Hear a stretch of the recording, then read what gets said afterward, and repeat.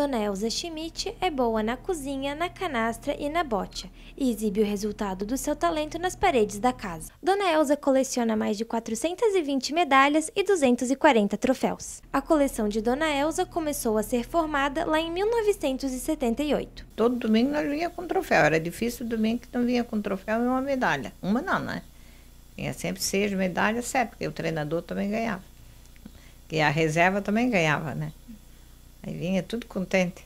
No meio de tantas conquistas e histórias, ficou difícil para Dona Elza escolher uma preferida, mas ela nos conta uma lembrança que guarda com muito carinho. Nós estava a, do, a 16 pontos, foi lá no 18 de maio. E o Gasparense estava 22.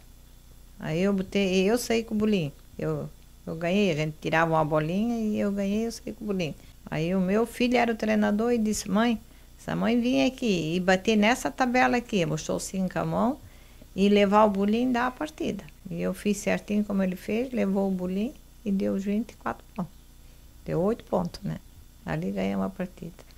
Aí tinha gente que abraçava e beijava, se até pegaram eu no colo, andava comigo, assim, eu morri de vergonha, assim, que nunca aconteceu isso.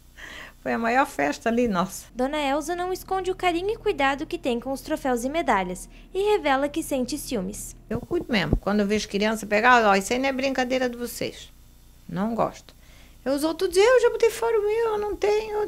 Todas elas têm. Começa a minha vizinha dali, pode ir na casa dela. Ah, não tem um troféu, não tem uma medalha. E eu gosto. Então eu digo assim pro meu filho, quando eu morrer, porque eles querem essas, essa casa aqui para o museu, mãe, nós vamos cuidar.